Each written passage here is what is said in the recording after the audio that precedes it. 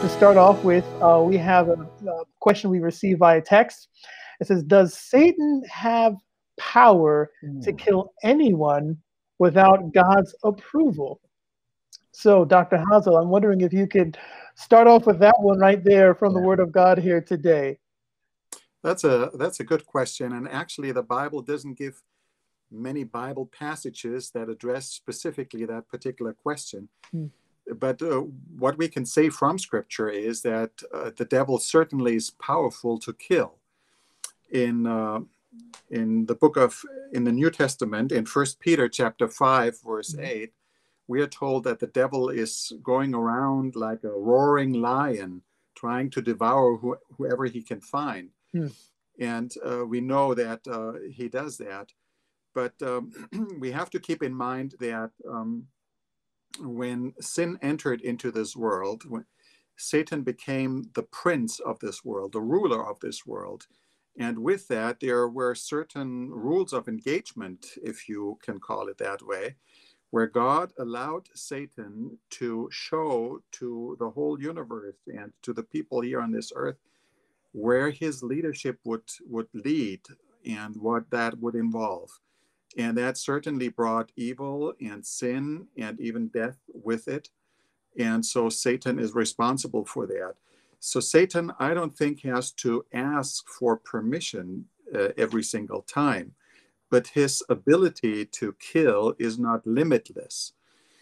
Uh, we know from the Old Testament book of Job, for instance, where Job, who was a pious and, and God fearing man, uh, he was uh, attacked by Satan, and Satan had to get permission to really take his life. And God said, "Well, you can touch, you can touch." Uh, this is in Job chapter one, verse uh, twelve, uh, where he says, mm. "You can touch everything, but not his life."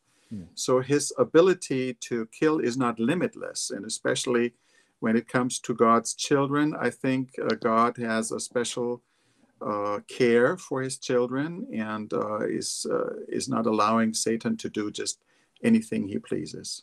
Hmm. Appreciate that. Um, so, from hearing you correctly, uh, Satan does have um, the power to influence killing, but at the same time, God is still uh, in control in the yes. bigger picture. Okay. Yeah. Yeah. Yeah. Appreciate that, Dr. Shelley. I don't know if you have anything to add as well. Okay. So we know from Revelation 12 12 that devil has come down to you having great wrath because he knows that he has a short time. So it's no surprise that he's trying to kill as many people as possible. Mm. But I think we also need to focus on the wonderful promise that nobody can separate us from the love of God. And this means that whatever happens to us, we need to have this faith um, we know that in Romans chapter 8, for example, verses 38 uh, and 39, for I am persuaded that neither death, nor life, nor angels, nor principalities, nor powers, nor things present, nor things to come, no height, nor depth, nor any other created thing shall be able to separate us from the love of God which is Christ Jesus our Lord. So I think this can be an encouragement for all of us that whatever happens, we need to be sure that nothing can separate us from the love and the Lord Jesus Christ.